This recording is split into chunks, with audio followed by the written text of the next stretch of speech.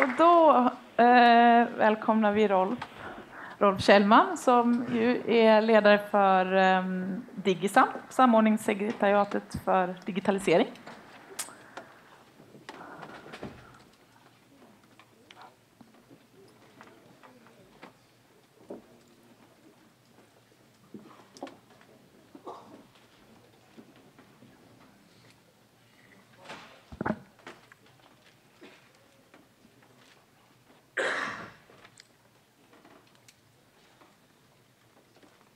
Kan ju passa på att säga att eh, det stod lite muggar utanför, eh, porslinsmuggar ute i, eh, i pausen som några av er eh, nyttjade att dricka kaffe i. Tanken är att alla ska få en porslinsmugg med sig hem. Eh, så drick gärna kaffe men kanske hemma i dem. Eh, det kommer stå lite muggar till och fler kommer även imorgon. Men det är alltså en gåva.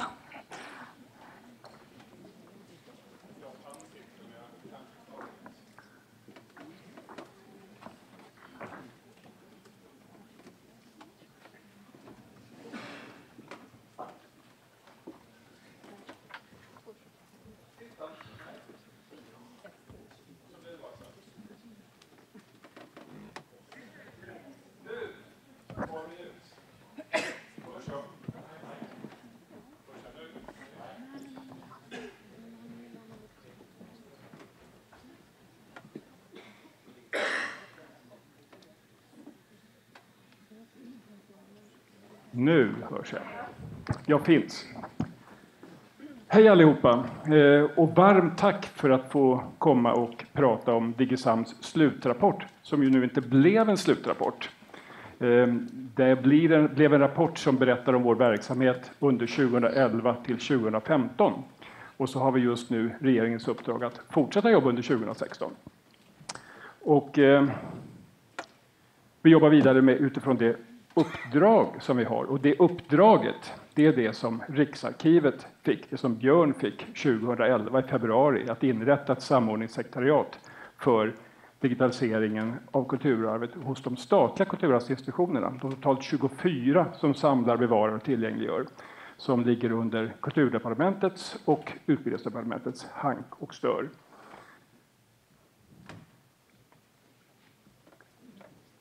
Den kanske man ska ha. Det här uppdraget eh, var väldigt, väldigt brett. Det är väldigt, väldigt brett. Vi tycker att det är väldigt bra att det var väldigt brett. Till att börja med sa vi så här, det är bra att det är så brett för då förstår alla att vi faktiskt måste välja vissa spår genom det här materialet. Vi kan inte göra allt. Men vi har nog faktiskt haft på och krafsat på nästan allt, i alla fall tror jag. Och, eh, så vi brukar säga också så att om man sett, satte samman digitalt med kulturarv i någon form så, så blev det på Digisams bord. Och varför vi tycker att det också är bra att det var stort, det är ju för att det vet ju ni att allt i det digitala hänger samman på ena eller andra sättet. Det går inte att bara säga nu ska vi titta på lagringsfrågorna eller nu ska vi titta på hur man använder material på olika sätt och vis. För då skulle man inte få ihop det här på ett bra sätt. Man får inte balansen i arbetet. Vi eh, lämnade vår rapport i eh, februari 2015 till regeringen. Och eh, i den rapporten som eh, ni hittar på nätet på digisam.se så eh, berättar vi om vad vi har gjort, men framför allt så berättar vi också om så lyfter vi också fram de förslag och de övergripande bedömningar som vi har gjort och som Digisams styrgrupp har ställt sig bakom och som också de, alla de 24 myndigheter som vi samarbetar med ställer sig bakom till huvudsak bakom de förslagen. Så det är väldigt tungt förankrade förslag som vi går vidare med. Och idag så tänkte jag att jag skulle skrapa lite på ytan på några, lyfta fram några av de viktigaste förslagen som vi jobbat med och berätta vad de kan handla om. Eh, visioner. Visioner brukar vara det som det alltid är lättast att komma överens om. Det är som när Torsten säger vi ska digitalisera alla svenska amerikanska tidningar. Det brukar inte vara så många som säger nej, det tycker jag inte vi ska göra. Eh, visioner är ju ledstjärnor som visar riktningen mot en önskad framtid. Och därför så är de sällan heller inte så konkreta kanske som du var då Torsten. De är ju lite sådär, eh, inte så precisa som gör att man hittar inte de här stötestenarna riktigt var, när man inte är överens. Eh, och jag tror att det är väldigt, väldigt bra. Man brukar lyfta fram som exempel Vägverkets, gamla före detta Vägverkets, eller det som nu ingår i Trafikverket, Vägverkets vision om nollvisionen, noll döda i trafiken. Och alla sa att det är en vansinnig vision, därför att den går ju inte att uppfylla. Men forskning visar ju att den haft en enorm effekt för de insatser som har gjorts, som har gjort att det har lett till att det har minskat antalet döda i trafiken. Därför att om man sätter en sånt högt mål så börjar man plötsligt tänka, mm, men hur skulle vi göra då när vi tar fram till det här? Så säger man till exempel att det är klart att allt kulturarv ska vara digitalt. Så säger arkivarierna så här, nej, det går faktiskt inte. Ni måste välja här. Lite grann. Men säger man det på det sättet så måste man börja tänka, ja, men om man nu skulle göra det, om vi skulle satsa på att få allting digitalt, hur skulle man då tänka? Hur skulle man då jobba? Och det är så jag tror visioner ska användas. Dessutom, vad tror ni robotarna gör om 80 år? Det här är Digisams vision, att kulturarvet är digitaliserat, tillgängligt och användbart för alla. Och att det finns en samordnad kostnadseffektiv infrastruktur som stöder digitalisering, användning och bevarande med hög kvalitet. Det här är egentligen en ihopkokning, eh, kokat buljong på, på det uppdrag som finns i digitalt kulturarv i regeringens strategi för digitalisering av kulturarv, som ju då är Digisams huvuduppdrag att jobba för att se till att den når sina mål. Eh, när man nu säger det här om nollvisionen som jag sa så kanske man kan säga att om ett, ett fortsatt IGSAM kanske skulle skruva på den här visionen och se om man inte kunde göra den här just lite vassare. När man kommer till nästa nivå, när man kommer till strategierna, då, då blir det ju oftast lite, eh, lite krångligare. Eh, för då Strategierna de beskriver hur man ska ta sig mellan de här utstakade målen ska, som ska leda en fram till visionen. Och ska man ta den vägen eller den vägen, göra så här eller så? Och, och då när den ena vägen kanske verkar, verkar lika så bra som den andra vägen så kanske det inte blir lika lätt och man kan dessutom bli väldigt oense om vilken väg som är den bästa att gå. Och, och dessutom är det så här att när vi väl har jobbat stenhårt med de här strategierna så tenderar de ju faktiskt att stå jättebra där i bokhyllan eller ligga lite grann så här nere. Och, och man vet att man har de här strategierna och man har sina måldokument och man tar fram dem varje år man jobbar med verksamhetsplanen och man skriver sina årsredovisningar. Men hur många av er har dem på skrivbordet varje dag när ni jobbar? Det har ni allihopa. Jättebra. För att eh, jag har jobbat på ställen där det faktiskt kan bli så här att styrdokumenten är så många så att, så att man eh, nickar till lite. På en tidigare arbetsplats jag jobbade där räknade vi hur många interna styrdokument vi hade och det var nästan hundra. Eh, och, eh,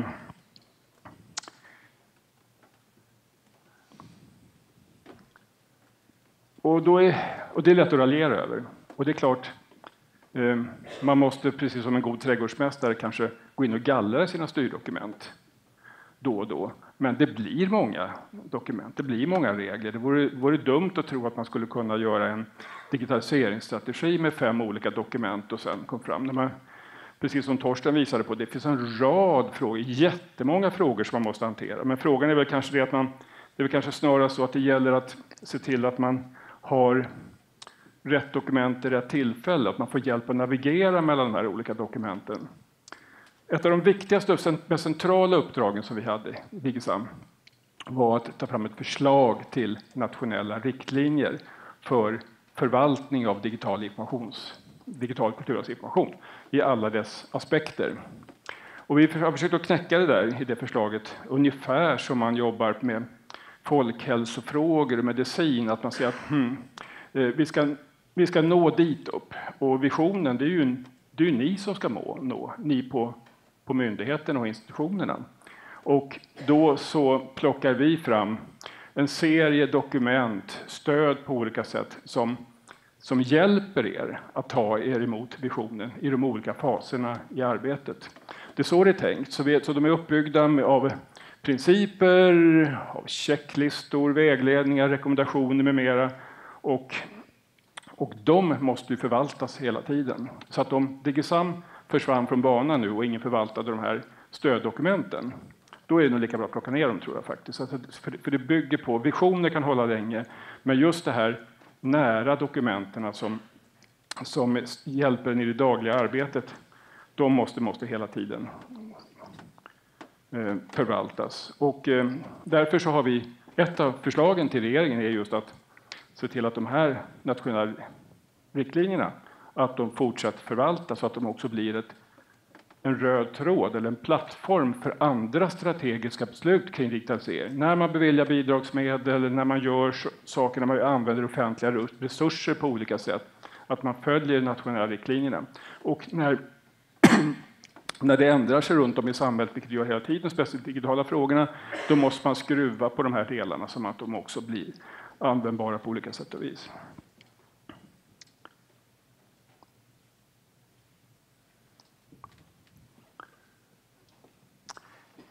Det själva balanspunkten, eller själva gyrot i de här digitala nationella riktlinjerna, det är våra förslag till principer.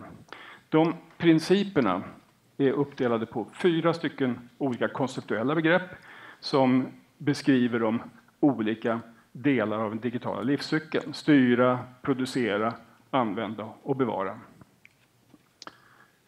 De eh, ska vara just sådana här fyrar eller vägskyltar som står där i de här vägkorsen. Och så säger att om man nu ska jobba med med öppna data eller med standardbokföring och jag inte riktigt vet åt vilket håll jag ska gå så säger man så här, ja, men gå åt det där hållet. Och så finns det också i principen som beskriver vad är det? det finns ett, principen är ett, ett uttalande att, att information som är öppen, tillgänglig, publicerad utan, Eh, med, utan, utan upphovsrätt, till exempel äldre material, eh, ska inte komma en ny upphovsrätt om man gör en digitalisering av materialet. Sen så finns det en beskrivning av det och så finns det konsekvenser. Om man, om man jobbar efter principen så innebär det det här för din myndighet och det kan fyllas på med rätt så lång lista. När vi började jobba med det här så träffade vi alla de 24 myndigheterna och det blev väldigt, väldigt tydligt i en ärlig diskussion, öppen, att ingen av dem egentligen hade en balanserad syn på de olika delarna i en sån här livscykel. Eh, fokuset låg väldigt mycket på antingen på att producera, vi digitaliserar massor, eller vi är jätteduktiga på att använda sånt som är digitalt, eller vi, eh, vi, vi tänker väldigt mycket på bevarandefrågorna och kör in det. Där ligger framförallt kanske då arkiven. Eh, de var rätt överens om alla cheferna att där uppe var nästan ingen. Nej, men det är, det är ju Kalle som jobbar med de här sakerna nere i... Det, det, han har ju pitchat den här idén och därför så, nej men vi har väl egentligen ingenting som vi styr så. Det där har blivit otroligt mycket bättre. Under de år som vi har jobbat och haft täta kontakter med organisationerna så tycker vi nu, vi hade ett stort möte med alla chefer den 20, i oktober förra året och vi tycker att det finns en väldigt stor förståelse för att ska man säkra resurserna, skydda sina investeringar och se till att det här kan bli använt i lång framtid ursäkta mig, så, så måste man tänka balanserat. Man kan inte lägga allt krut på den ena eller andra, man måste tänka igenom hela stegen.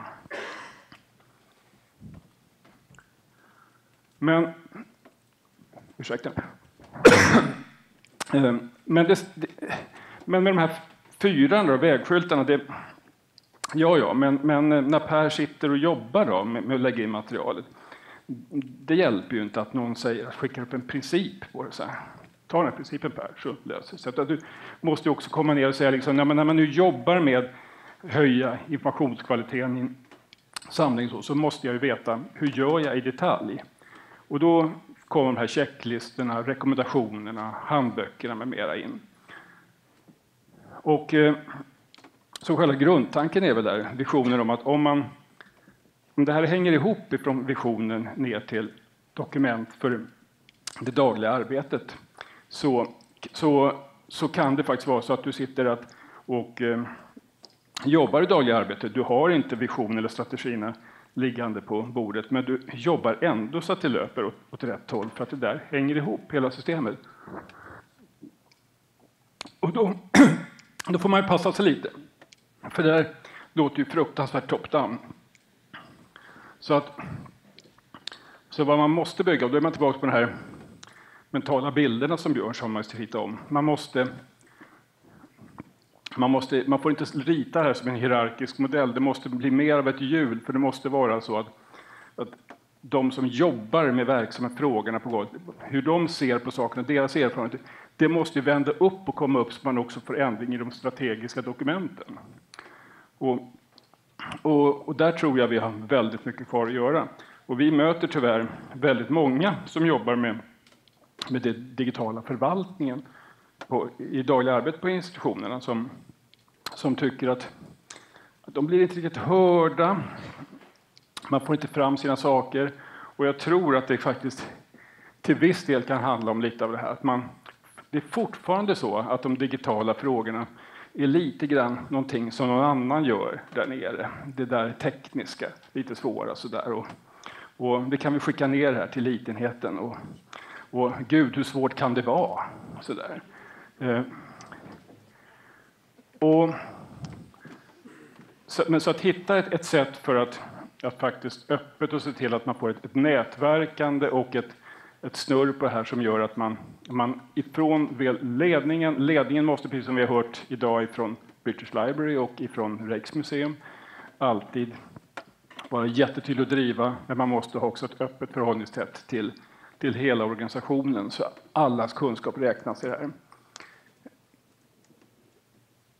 I, som en plattform kan vi kanske säga för de här nationella riktlinjerna så är infrastrukturfrågan den också den centrala. Därför att regeringen säger att vi ska öka tillgång på information, det som produceras, används och bevaras. Men för att öka krävs det inte bara pengar som Torsten sa, det krävs också att det finns teknik, resurser och en ordnad form för att hantera den informationen som kommer fram. Eh, jag tror nästan alla av oss som har jobbat med sådana frågor kan räkna upp en rad olika tillfällen där vi har fått satsa rätt mycket pengar på att rädda material som ligger på dålig lagringsmedia, saknades metadata. Eh, jag har varit med om att skicka material till USA för att få dem att, att eh, med ren digital forensic eh, lösa upp material. Men vi pratar inte så mycket om det.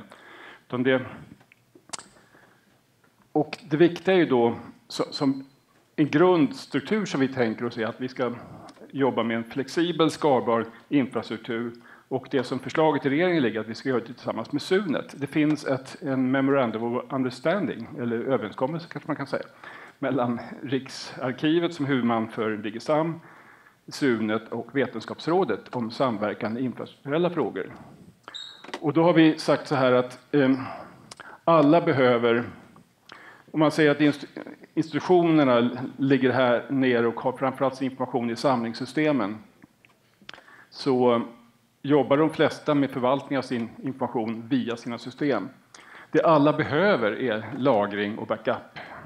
Och genom att börja ett första steg med att bygga en byggkloss och säga att ordna en storskalig, eh, kostnadseffektiv lösning där alla kan lagra sin information och få backupat och om man gör det antingen distribuerat eller centraliserat så kan man sedan bygga gemensamma tjänster, verktyg som behövs för gemensam förvaltning av information. Det kan vara API, det kan vara tjänster för strukturering av data med mera. Med mera. Och det där håller vi på att jobba på precis just nu och, eh, och försöker och, och med en pilotstudie för att få igång och titta på hur den där faktiskt skulle se ut och hur den skulle kunna fungera. Själva produktionen då? Mm, eh, Torstens siffror är ju skrämmande egentligen, eller hur Torsten? Och då är det ju så här att, att eh, sen tillkommer ju, man brukar säga ungefär att sådär, cirka 40 procent av kostnaden, nu ber jag om ursäkt, cirka 40 procent av kostnaden för produktion. Så mycket kostar det sen också att, att förvalta informationen. Så att det är kostnadsdrivande att digitalisera, det är bara att konstatera. Och det svåra för kulturarvsinstitutionerna är ju att vi också måste fortsatt förvalta det som är det analoga materialet. Men det finns ju ingen annan väg att gå, så vi måste hitta vägar att ta oss framåt. Eh, det finns ehm, ett skarpt uppdrag nu till Riksarkivet. Det var också ett förslag som vi hade i rapporten till regeringen att, att Riksarkivet borde få i uppdrag att, att ehm, inrätta Mediekonverteringscentrum, MKC, i Fränsta som en nationell resurs för digitalisering av kulturarvet. Och det uppdraget kom också i regleringsbrevet för aktuella budgetåret.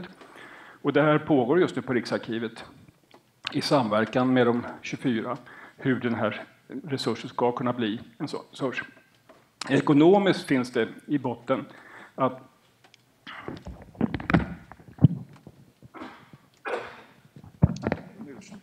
ursäkt för att min, min röst håller på att ge sig. Men eh, eh, det finns, Riksarkivet fick pengar för ett antal år sedan att jobba med kyrkobokföringsmaterialet. Här finns det, det, det projektet är slutfört. Eh, här finns det kapacitet, det kapacitet på MKC och också resurser att tänka om kring hur man skulle kunna använda dem som en grundpott i en storskalig massproduktion i Fränsta. Och då tänker vi, eh, precis som Torstens platta tidningar, att MKC ska fortsätta att kunna vara den här noden för storskalig digitalisering kring platta material. Eh, till platta material så räknar vi också då eh, fotografier, fotografisk bild.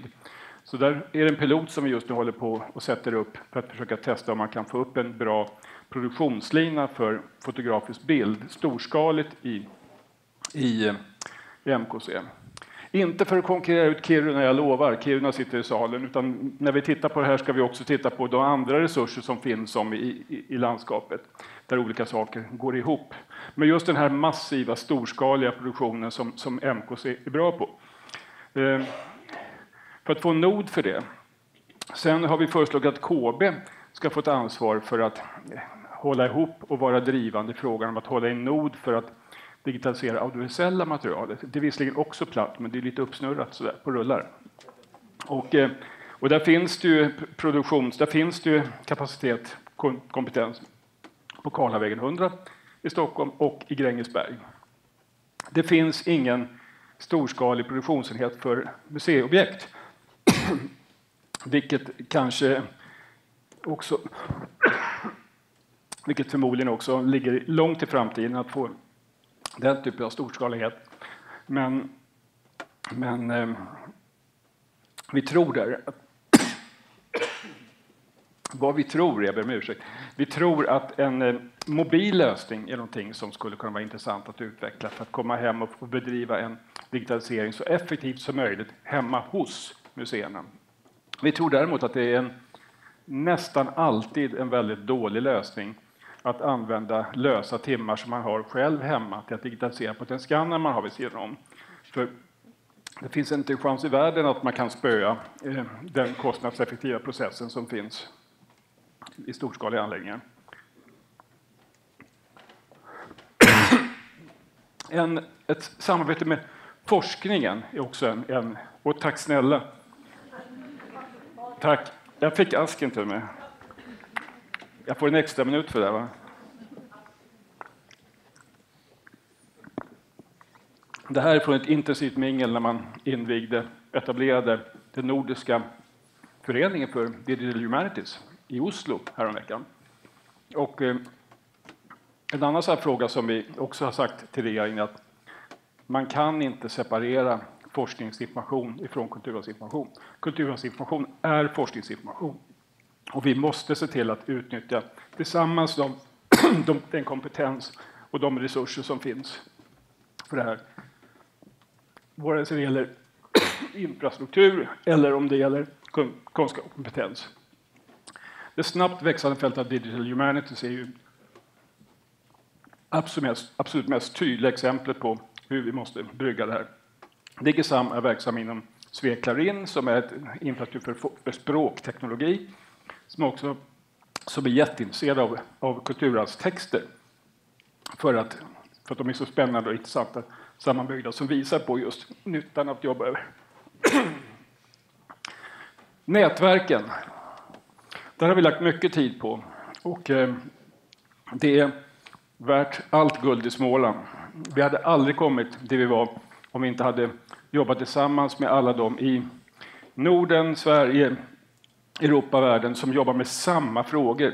Det finns ingenting som vi håller på med här hemma som inte alla andra jobbar med. Utan, utan delta i olika projekt och plocka hem kompetenserna. Hej Norge som sitter i salen.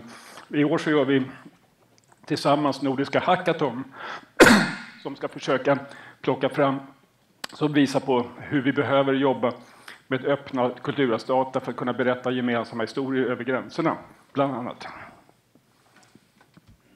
Kompetens Inte ens de största institutionerna kommer att ha chans att hålla all den kompetens som behövs för att hantera det digitala skiftet. Och då menar jag verkligen inte att det handlar om att komma från det digitala och dyka ner på analog. Det handlar verkligen om att möta det analoga och det digitala. Det finns... Så det handlar inte om... Man måste smälta samman det analoga, brygga ihop det analoga med det digitala och inte tro att vi bara rullar in en ny teknik över så här. Och dessutom, som British Library visade så tydligt, var och en av oss, vare sig vi är arkiv, museum eller bibliotek, har massor med material från alla andras institutioner. Så att den informationen, men däremot kanske dålig kompetens. Nästan alla har universellt material, men hur många kompetenser? Att mäta, det är också en sån här sak som vi har lyft fram som ett förslag. Det måste utvecklas nya mätpunkter, nya sätt att beskriva vad som händer på institutioner vid digitala skiftet. Det är fortfarande så att det ligger tyngre mätpunkter på den fysiska trafiken, fysiska mötena. Och så länge det gör det, så kommer man, om man är i ledningen, så kommer man att styra på de målen. Så att man måste hitta ett sätt att, att hitta andra indikatorer.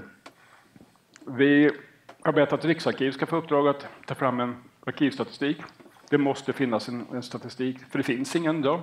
Det måste finnas stati, statistik från alla ABM-organisationer för att man ska kunna jämföra frågorna framöver. Juridiken. Staty. Offentlig plats. Brygge. Eh, det här har blivit en av våra viktigaste frågor. Vi har jobbat med rekommendationer, vägledningar kring hur man ska kunna publicera sin information på nätet. Och därför att det absolut största skälet till att det är för lite material ute, det är för att man inte vet vad man får göra. Så vi försöker tala om, så gå in och titta på våra rekommendationer kring, kring publicering på nätet och se allt ni kan göra idag. Vi jobbar med bildupphovsrätt i Sverige.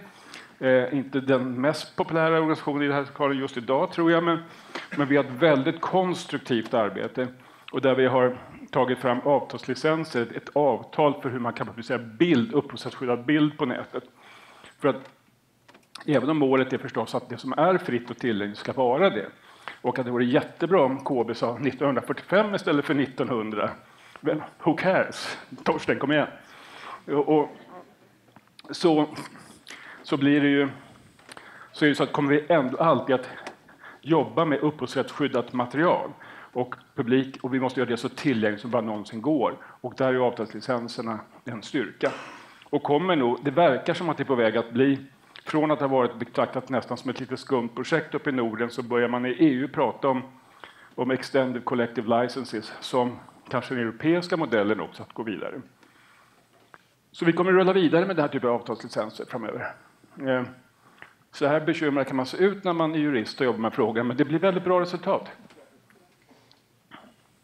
Nu har vi gjort lite halvhalt, fast egentligen inte. Vi trodde att vi skulle bromsa upp lite grann, vi hade lagt slutrapporten. Men vi eh, jobbar vidare enligt det uppdrag vi har. Eh, vi är fullständigt övertygade om att det kommer behövas fortsatt samordning, koordination, samverkan i det här området. Om det, hur det sker framöver, det är faktiskt inte en fråga för oss, det är en fråga för regeringen som, som kommer att bädda in det här inom ramen för kulturarvspropositionen som kommer i mars, kanske, Eva? Tror vi? 20? Nej, någon gång kommer den. Så, men hur som helst, så att, eh, och, men däremot fråg, alltså vi, vi följer frågan och det kommer vi fortsätta göra. Och problemet är att så här mellanläge, vi har förlängt ett år, Eh, vilka ni och samarbetar med, finns det 2017? Ja, det kommer finnas någon 2017 som jobbar här frågan också, det är jag rätt övertygad om. För att på den adressen, gå in där ofta. Där lägger vi alla de dokument som kan vara till stöd för er och som vi kan jobba med. Och nu rinner min tid ut och då kan jag passa på att tala om att vi finns inte bara där, vi finns förstås också här. And to our, har vi några? Yes, we have some non-Swedish speaking participant yet here. So uh, on this uh, LinkedIn site, we will we're just about to launch a series of blogs where we break down our final report in smaller bits, compressible bits, and we will translate them and put them on, on our LinkedIn site. So, so please, meet you there. Tack ska ni ha så hjärtligt.